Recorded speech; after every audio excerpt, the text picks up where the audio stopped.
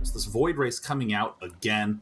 Would not be surprised to see this Void Ray triple base into fast fourth base again. It's just such an effective opening. Yep. I really wonder what Serral's game plan is going to be.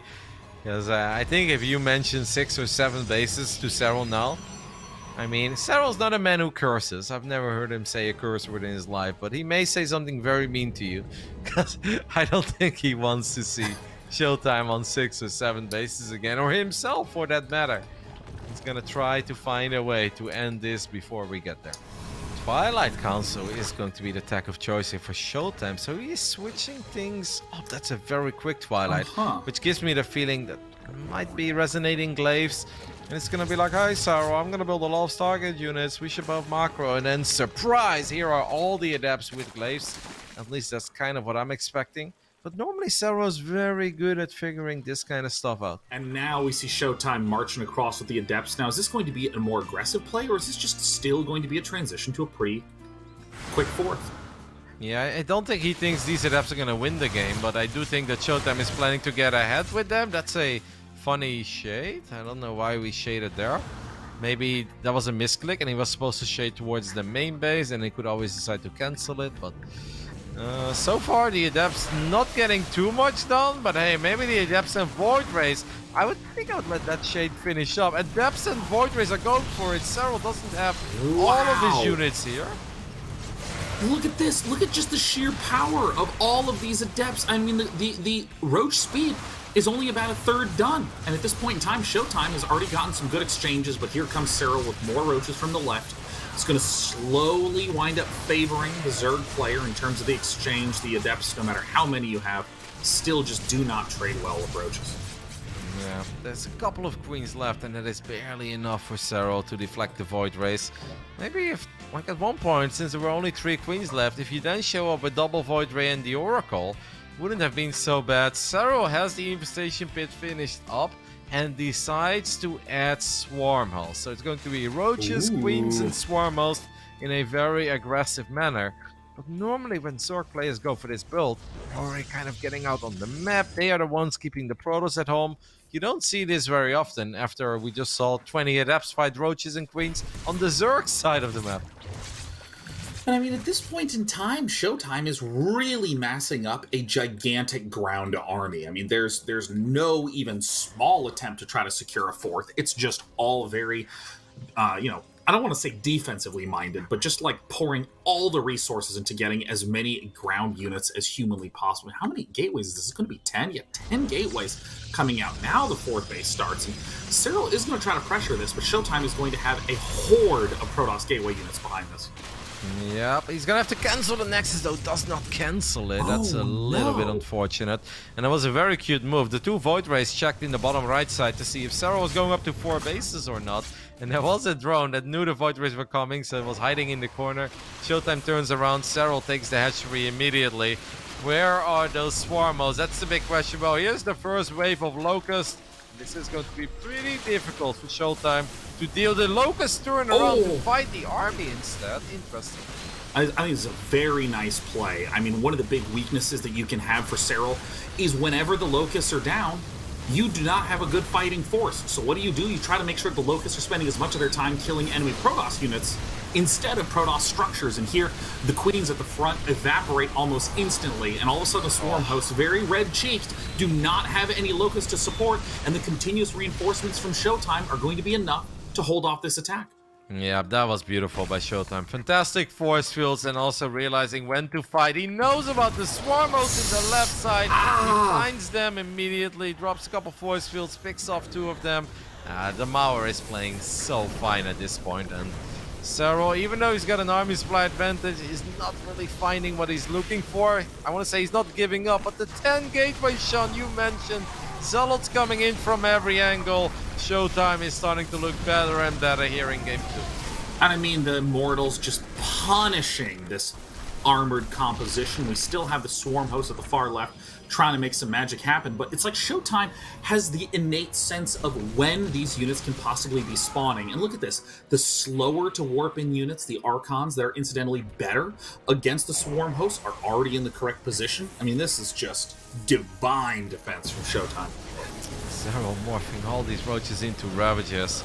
Gives us the feeling he's even more committed than he already was. He does have those plus two missile attacks on the way. Corrosive Bile does not connect with the Void Rays. The Queens are a little bit further behind. It is hard to engage armies with all these Ravagers though, right? It's like, ah, oh, you don't really want to go through the Corrosive Biles. Yeah, I mean, it's it's again the Ravagers are interestingly being used as like a nice delay and retreat friendly unit. And Serral, wow! I mean, Showtime defended this move from Serral multiple times. This run up into the main base, and just the one time Serral doesn't have, excuse me, Showtime doesn't have a warp in ready, that's when Serral strikes. And here suddenly we have the Locusts and the Roaches getting a good concave against Showtime.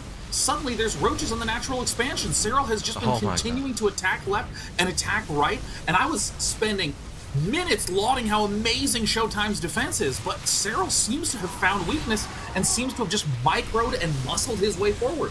There is a War Prism in the main base of Serral, so Serral is starting to lose a couple of drones, but I think that you are onto something, Sean. All of a sudden, Serral does find an opening. Seems like we're gonna have a very standard setup here. The Protosses, they love the Void Ray version. That was definitely different once upon a time. yeah, I mean, I, I feel like this is the Protoss version of, of getting Hellions, right? When you get Hellions, it just lets you feel so safe. You know, it's not necessarily that great in any direct engagement. Obviously, it deals bonus damage versus um, obviously deals bonus damage versus like Ravagers and Roaches and that sort of thing. But really, it's just the lack of anti-air that helps guarantee that you can get expansions up safely. It just feels so good. And, you know, following up with the Oracle to do some scouting, this is a very Showtime-esque opening because so often um, openings have some type of pressure, some type of damage, and Showtime just seems so focused on denial. We see a bunch of Adepts coming out and then not moving out for a little bit we see the uh, Void Ray coming out and not attacking, just kind of clearing things out. And now we see the Oracle coming out. Now we see the Adepts trying to do some damage. Just very, very patient. when we say patient, he shades into Adepts into a middle line that is protected by Queens and Zerglings, but I guess Showtime didn't really feel like he needed those Adepts anymore. Yeah, for a split second, Showtime already had a Twilight Council on the way, but he decided to cancel that. He's like, hmm, if it is taxi time, I better take this very serious, but he revelated it. So the Void Rays will once again start applying pressure to these Dropper Lords immediately, and at this point it's a race against the clock. Uh, well, if this means we get another 38 minute game, I'm pretty sure people are excited. But let's see if that's actually going to be the case. We know that Serral is going to be even more committed than he was before. But how the hell do you taxi four queens when there are four? How the hell do you taxi against four void rays, right? No, stop picking oh. up queens. Just, just oh, walk, Serral. Just, just walk. walk. It's not that far.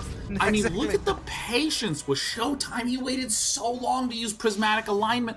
And I think that it was the perfect set of decisions because now there is a single adept here. There's shield batteries, but the Ravagers immediately begin going to town. And here now, the Queen count at six. So many transfuses. Hydralisk Den being built behind, and this third base is done. Rotterdam, look at this. It makes it look easy.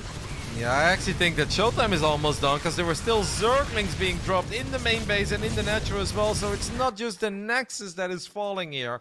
It's also the fact that Showtime is taking some economic damage behind all of this. And these Queens are still very, very healthy. Uh, is down six workers though, so he may feel like he needs a little bit more. But I think there is a lot of opportunity for him to get a bit more. Because if you look at the energy and the health on these Queens, why the hell would he slow down? I think the play might be to just pick off the Ravagers. I mean, the Queens are just unkillable with this much energy right now. And suddenly, Serral is making this early Void Ray opening look terrible. I mean, this was an amazing defense from Showtime in the very first game, but here in game three, Serral comfortably does the same opening again, has killed off so many workers, 10 down and a third base, and Serral ain't done. Serral is building drones behind, getting Hydralisk range behind, getting ready to get a fourth base behind, and Showtime is still, still dealing with this Queen Ravager force. Yeah, and it's still so hard to pick up these queens. There's a couple of transfusions left. The Void Ray count should normally be high enough at this point to finally clean this up. So we're going to be disengaging one or two more times. Maybe the Zealots can help Showtime to actually really make this the cleanup crew. Oh, yeah, now we already have Hydras being produced of 63 drone economy. I absolutely love the way that Serral executed his attack and still thought of the phase after this. Okay, well let's let's talk a little bit about what to do now as Protoss. You can't build any tech units or tech structures. You've lost your cybernetics core, so it's all slow zealot void ray from here on out. You can apply pressure and recall, but I mean void rays get weaker and weaker and weaker the longer the game goes on. In fact, the making them more like function as a support unit. Maybe they can pick off some queens here. Mm, yeah, getting any queen here is good, but with that number of hydras, I mean, Serral just looks on point. Yep, and don't forget that Showtime cancelled his Twilight Council when the attack started, and now oh, he also right. lost his Cyber Core, so he needs to rebuild the Cyber Core to then build the Twilight, to then research Charge. I mean, that seems like it's gonna take a very, very long time. And here we have the forward pylon without any warp bonus. Look at how long those adepts take to warp in. Jeez. Yeah, I know adepts do bonus light damage, but there comes a point where if you have queens and hydras, you just kill everything in small numbers. Yep, Serral's counterattacking with a couple of Zerglings, and Showtime has no units in position to protect this Nexus. It does have a lot of HP, so I guess the Oracle will be able to keep it alive, but it's very obvious that Showtime is looking for some damage with this very weird and almost random Protoss army that he's currently working with. Oh no, Zerglings casually running into the main base. There is no shield oh. battery there. That's gonna hurt a little bit too. And it looks like it's Showtime just going for some desperation final attack or does Showtime think that he can actually win here? I mean, Adept Void Ray? What? Okay, sure, it looks like it's piercing forward. I, I guess there's only seven Hydralisks left, turning on the Mega Beams to try to pick off that Spore Crawler as quickly as possible, but no, still too many Hydras, still too many Queens.